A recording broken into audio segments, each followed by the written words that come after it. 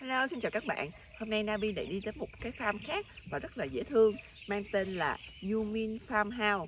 Ở đây thì mới xuất hiện mấy em đà điểu nè, rất là dễ thương. Một, hai, ba, bốn em đà điểu. Các bạn thấy không? À, nhìn chúng rất là cao ráo và dễ thương. Sắp tới đây thì ở đây sẽ huấn luyện cho các em đà điểu này là sẽ được cởi đà điểu cho các bạn xem. Ngoài ra thì còn có cừu nữa, rất là nhiều em cừu nhưng mà đang tắm rồi. Nó xíu nữa chúng mình sẽ xuống xem nha. À. Ừ. Giờ chúng mình sẽ đi tham quan một vòng của farm để xem coi có cái gì đẹp và đặc sắc ở farm này nha. Các bạn cùng đi với Navi nè.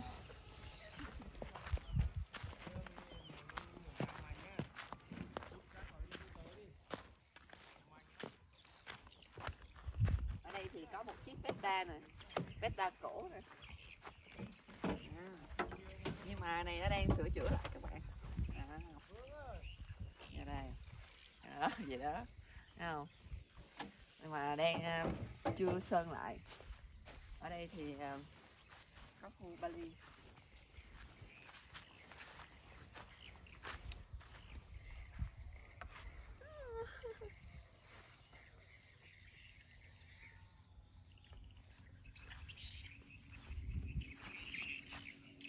Mình cảm giác như là nó nó, nó muốn rớt mình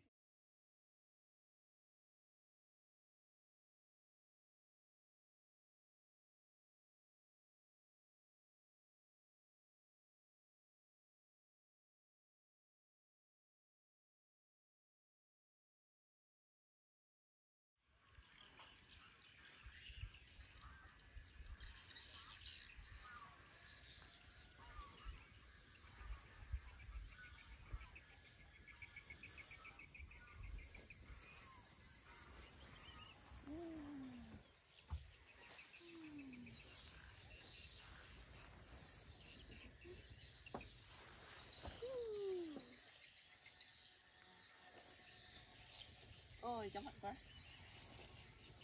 rồi.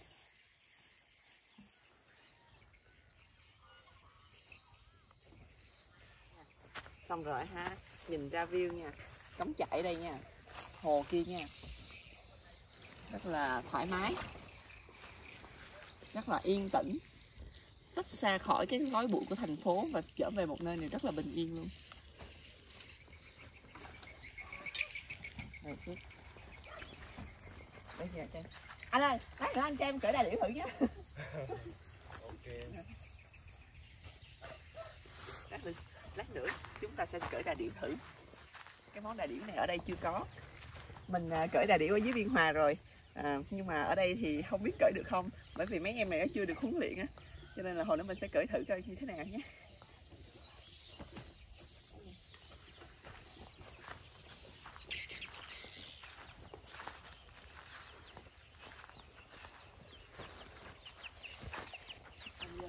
còn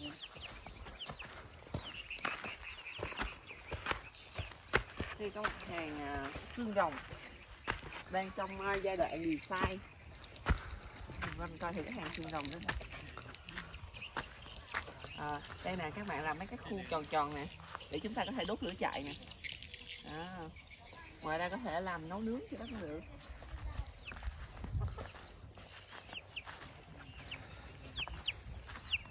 đây là hàng xương rồng mà mình nói với các bạn nè nhìn thử ra như thế nào ồ có cái này làm cái design này cho mình chụp hình nè à sẽ ngồi như vậy nè. Ngồi ngắm trời. Sau đây mình sẽ dẫn các bạn đi tham quan một cái chỗ mà mình tâm đắc nhất và rất thích nhất ở farm này. Đó là khu cắm trại camping. Cái này là mình đã thích mở rất từ rất lâu rồi nhưng mà chưa có nhiều chuyện mở. Hôm nay thì mình đi thử trước. Các bạn cùng đi với mình qua đây coi thử đi.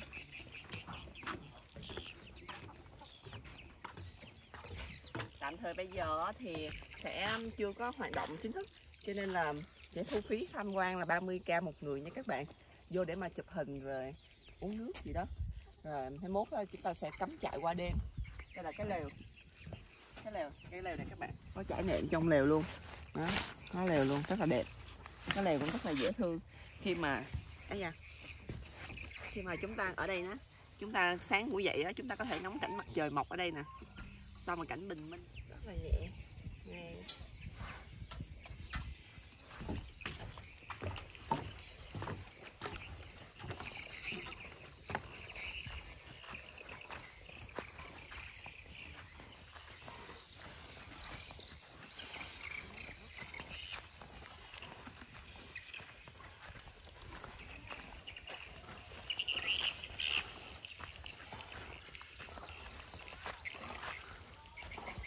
Ờ quên nữa, để mình đi sẵn tiện á, Mình đi lên luôn.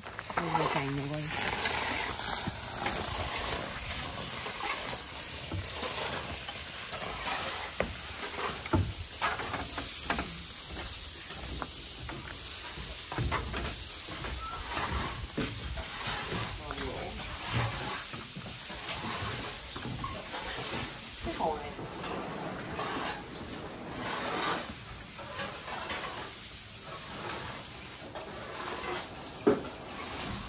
Vô chụp hình với mình một con đường tình yêu giữa vòng hoa ngũ sắc các bạn nhìn xem.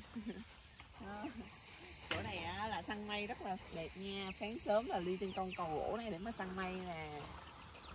Bây giờ thì mình tới chỗ bờ biển thôi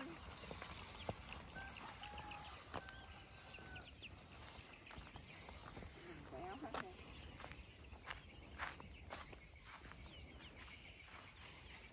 Hello Hello em là Liễu Về đội với chị nha Sao ta? nó, nó, nó hiền lắm, nó hiền lắm Hay là em có leo lên nó được hay không? À. Giờ xem. Hello.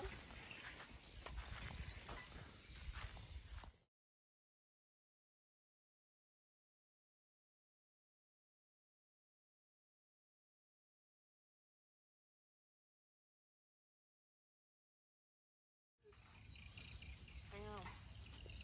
Ôi. Chết. Nè, cho miếng nha cưng quá Đây. Nè, cho ăn là phải cho cởi nha. Chưa sắp đụng được rồi. Đây con này đi. Quá rồi ôi nè anh coi nè nè nè nè nè nè anh. Nè, nè. ôi cưng quá. Thấy thêm một cành nữa. Khôn ghê á. Lúc cho ăn á thì cho đụng mà hết cho ăn là hết không cho đụng nữa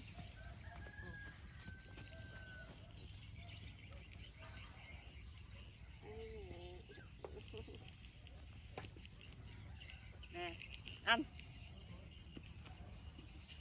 hai đứa hai bên anh cá anh ghê hết rồi Hết rồi. Giờ tới nhà để để thêm cầm cho con ăn nha.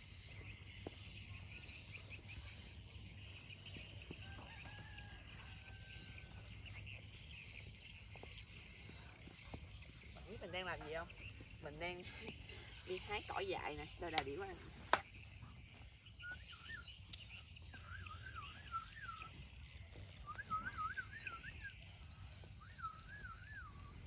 Nè nè nè. mày mày nè tao cỡ này được nè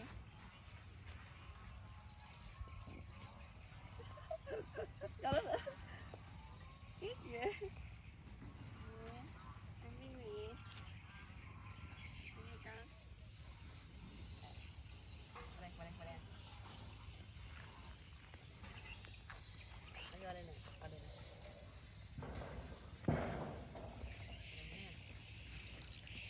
chạy chạy chạy mất tiêu con to này là mới cởi được này mà nó không cho mình cởi giờ sao đây? Làm sao để dụ em đây này được đây? Cái con nhỏ này nó cho mình đụng nè nó cho mình nhưng mà mình nó nhậu mình không dám cởi nó mình sợ nó bị thương. Nhỏ vậy sao mà cởi được? Nghe không? Đấy, chụp chụp anh chụp chụp chụp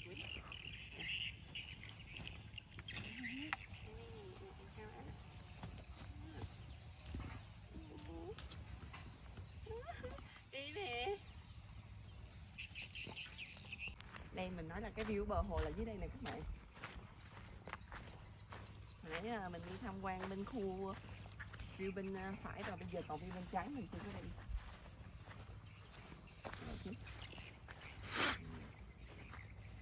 Đây cái bụng nè.